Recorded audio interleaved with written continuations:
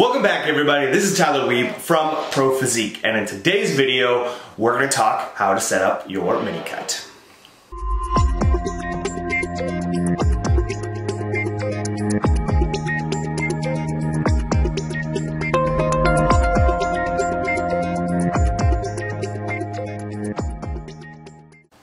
Right, welcome back everybody. Hope you are all doing well, getting by during the quarantine and the COVID. Hopefully you are all safe and healthy.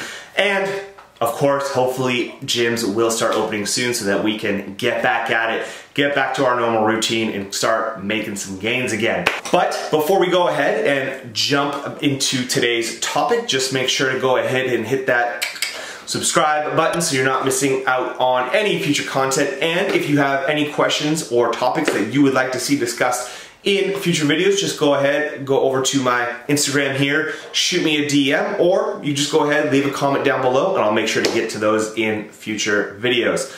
But let's go ahead and shift over into today's topic, and that is mini cuts, okay? So I am doing this video uh, personally because I am actually going to be setting up a mini cut here at the beginning of June. And so I thought it would really be a great idea to, to kind of document the process.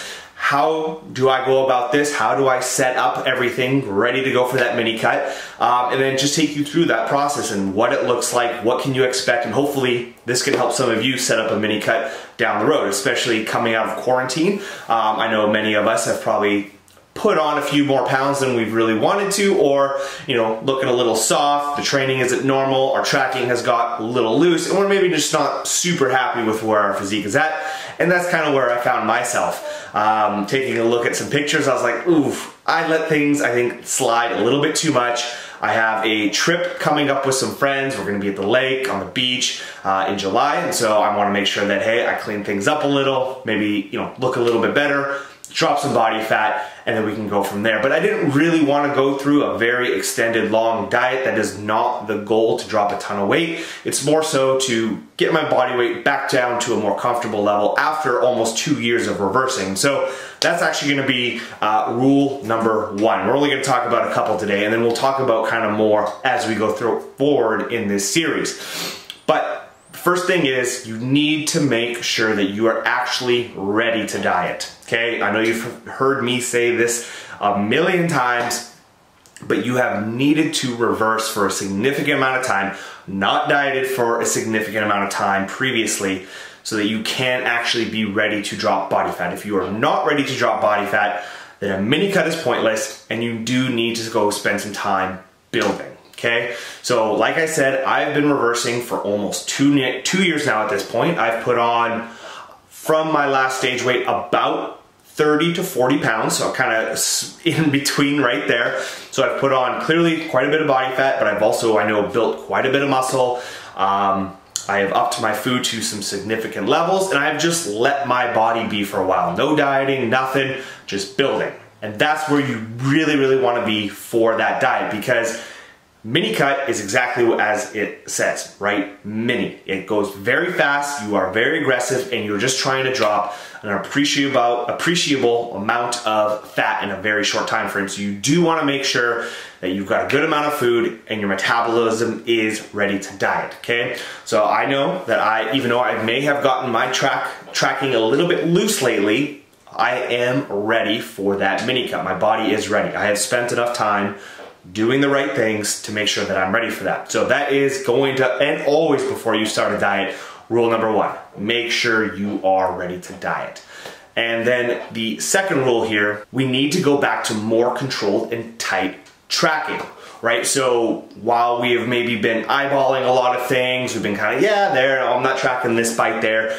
We want to all of a sudden kind of start treating everything like we are already dieting, right? So this is the prep before the prep or the prep before the diet. And something that everybody should always go through before they jump into a diet because we shouldn't be tracking hardcore every little thing all year, right? We do need to take a break from that. It is healthy and it is a part of the journey. And so when we do know that a diet is coming up, I always recommend spending at least two to four weeks bringing your food back in, really tracking again, and getting back into that habit because it is a habit, it is a skill, and it is, can be something that we do lose a little bit of when we're not doing it as much. And so, because that is so important to the dieting process, having two to four weeks and using that opportunity before you actually start dieting to getting used to tracking that hardcore again is a very good idea. Plus, it can give you a bit of an idea of what your body is doing before you go ahead and start dieting. Sometimes what can happen is people do tend to get a bit more loose and they're actually eating a lot more than what they thought or what their numbers indicate. And so all of a sudden we're bringing everything back in. You actually may already see a couple pounds drop just because you are tightening up your tracking again. So that's always a bonus if you can get that. And so I always encourage people to take some time, prepare yourself for the diet. And you may even see some drops because you probably were eating more than you actually think you were. So it's a great jump start to the diet and it really gives you some good momentum going into the diet because you know what? This is gonna be, like I said, very short, four to six weeks, that's it, you're done, you're out. Anything longer than that is an actual diet and then that's a different story. So, what I've done then these last week, and then I've got about another one or two more weeks because mid-July, end of July is when it is, and I'm gonna take all of June and probably a couple weeks into the July of dieting, depending on how things go. And so these last couple of weeks, I'm really dialing things back in. I'm recording, I'm weighing myself again, and I'm just really seeing, okay, where's my body at? What is my body doing before I actually start to be aggressive and make some bigger cuts to my food as well as my addition of cardio. So really, you know, before you start, it's all about preparing the body for that diet because we want to have as much success as possible when we do this, right? And so because the goal is to lose as much weight as possible within that kind of four to six, eight, you know, four to six weeks, we really want to make sure that we're ready to go and boom, right off the bat, we're losing weight. And so spending some time to really bring everything in, prepare your body, is going to help lead to that type of success with that mini cut. All right, guys, that is where I'm gonna leave you. So I've got this week, I've got next week of dialing everything back in, getting an idea, getting a good sense of where my body's at, my metabolism is at. So I won't be talking about this probably until later next week when I'm ready to start making cuts. So I'll go over the type of cuts you need to make, how much should you cut for a mini cut initially, cardio, all that kind of stuff. I'll cover that. Uh, and then moving forward, it'll be just kind of more of a date or a weekly journal giving you guys updates, what I'm noticing, what kind of changes I need to make if things are plateauing and everything like that. So hopefully this helps you to start get getting set up for your cut coming out of quarantine.